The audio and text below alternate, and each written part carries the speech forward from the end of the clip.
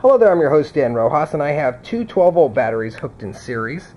And they're hooked up to this device. This little gadget is designed to tell you your volts, your amps going through the wire, and your watts being uh, used. Now this is really interesting because you can use a multimeter and hook it to the amp setting and most of them go up to about 10 amps, some go up higher, but then you have to figure your uh, voltage out to see how many watts you're doing on the DC side and eh, you end up chasing your tail around, the voltage fluctuates. So what this does is it simplifies it. You can look and say the DC side is using there's currently X amount of watts going through there, and it's useful for testing grid-tied inverters because you can look over here on the AC side and see what it's producing versus what it's doing on the DC side and you can see how much uh, the lack of efficiency that the inverter has. Now, I've done some tests with these that you're going to find quite interesting. These actually are more efficient than a lot of people claim they are. So we're going to cover that in a future video, but what I'm going to do right now is just hook this up and show you how this runs. So what I've done is I've doubled some of the wiring up to accommodate the higher amperage that this is going to pull. Now you don't want to wire anything like this. This is just for a test. So let me repeat that. This is for a test. This is the incorrect wiring.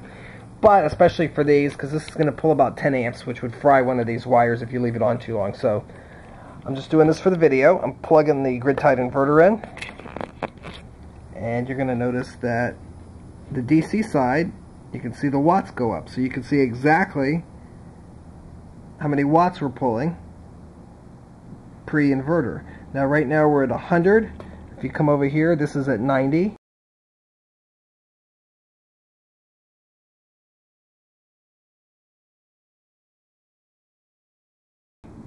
So what I'm going to do is I'm going to update you as this goes up on the grid-tied inverter.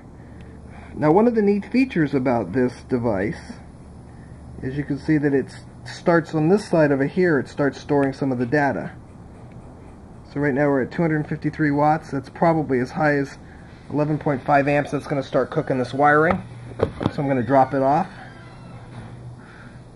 And that's how that's how this little device works. Now with this device, it goes up to 130 amps. So the device can handle a really high amperage. What it can't handle is high voltage.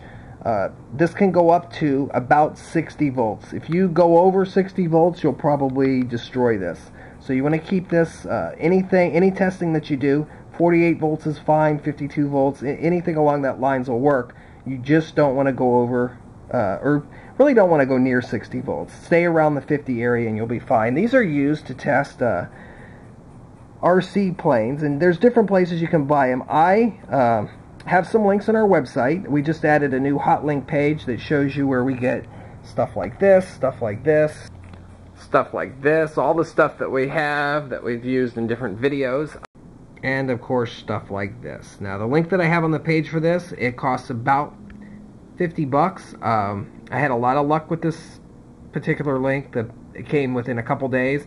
I ordered another one from a, another country, uh, from China, from a hobby place, and uh, that was a month and a half ago, and I've yet to get it. So, anyways, I'm your host, Dan Rojas. Thank you for watching, and enjoy our videos and definitely check out this web page.